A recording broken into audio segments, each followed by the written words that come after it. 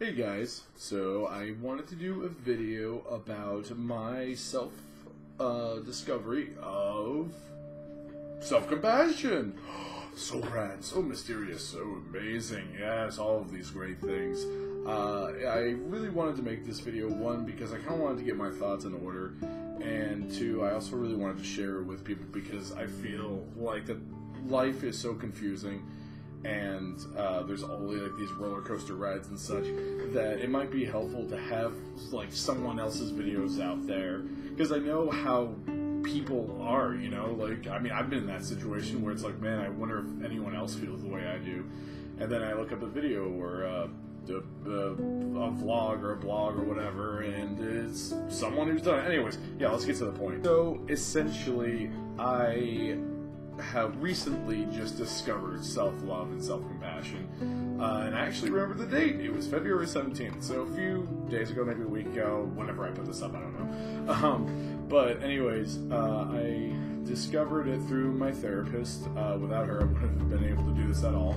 But essentially, I just I found out about self love for myself, um, and it was kind of like the, the best way to put this is that it's it's it's very sappy, yes, but just bear with me. It was kind of like having a vial of self love in my heart, and it was kind of like it, it, broke. Like it was very delicate, um, but it took a lot to destroy it. And so, well, not destroy it, but to open it up. So as soon as it opened up, I felt kind of like this rush of um, just calmness and love and peace.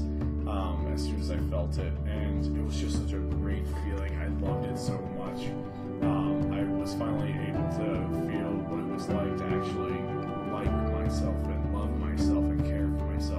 When I came out of the therapist's office, uh, I, I, go to VCU, so you can kind of see like everyone, like you're overlooking everyone down in the food court. Uh, and when I came out, I had this just sense of calmness and no judgment or anything like that because I I, I, I, lo- I was loving myself so much that I didn't have time to deal with any of the other bullshit. So when I saw everyone, I wasn't looking through gray colored glasses anymore. I was looking through um, just normal glasses. Like I just looked at everyone, and no one seemed like a threat to me anymore. No one seemed like an asshole because in that moment, what I realized was that the way that you perceive yourself is how you feel like the world perceives you. So if you perceive yourself as an asshole or that you're no good or anything like that, then you start perceiving other people in that way because how you it's it's it's kind of like you're judging yourself. Well, no, that is essentially what it is. Is that you're judging yourself. You're making yourself feel either good or bad. But let's just say for my case, in the past, I was comparing myself and I was telling myself that, oh, I'm a bad person, I'm bad this, I'm bad that. So no matter what good I saw in the world, I would perceive it as bad and label them as bad. And now I just look at everyone and it's just kind of like they're just people. Like if if you're in love with yourself, if you love yourself, then you don't need anyone else's validation and the bullshit doesn't matter. So I kind of wanted to tell a little bit of a backstory about uh, how I got to this point of like self revelation. Well, more along the lines of why uh, I never really had self love in my life, uh, and uh, the short of it is is that I never really had time to give myself a pat on the back uh, because when I was growing up, I had to do a lot of stuff. Uh, you know, I, I, I essentially I'll, I'll, use the word help. I had to help out a lot of people and a lot of things, and by doing all of this helping, I never really got to focus on me. I never got to be like, well, I did this and that's good, or I helped out with that, so you know I'm a cool guy, I'm a great person, blah blah blah. Um, I never essentially just patted myself on the back or awarded, rewarded myself um, because I was always so busy helping out, and I never knew what was enough.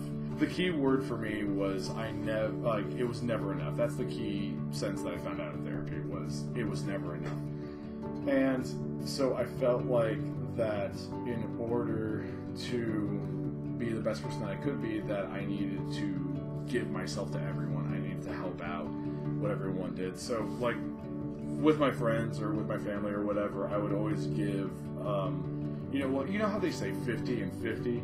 I gave seventy percent. I tried to put all of my all into every single relationship that I ever had in my entire life because I because that that's that's how I learned to survive. Essentially, was uh, work and work and work and work and work and help and help and help and help, and that was the only way that I knew of how to create relationships.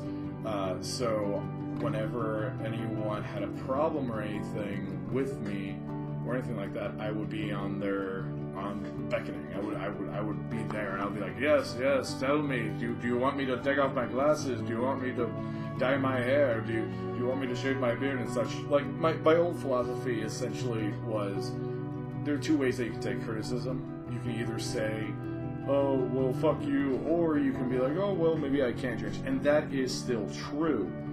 However, the way that I did it was that I took everybody's criticism and I would use it to mold myself and change myself. And by doing that, you just you never really find self-love for yourself. You're always trying to change and make the other person happy because you're scared that they're going to leave or you're just or that's just the way that you learn to survive like I did. And so going back to my childhood, um, I just never really gave myself that that that that space. I never uh, had a chance to validate what I was going through, essentially.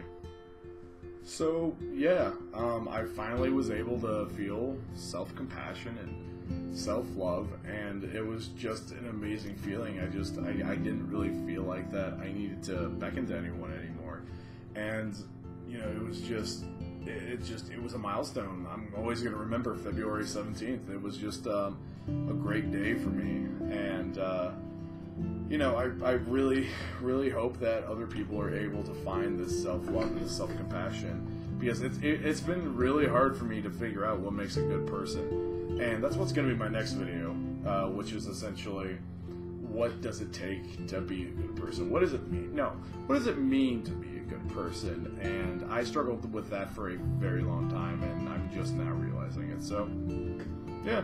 Anyways, uh, I hope you guys really like this video, and I'll see you later. Bye.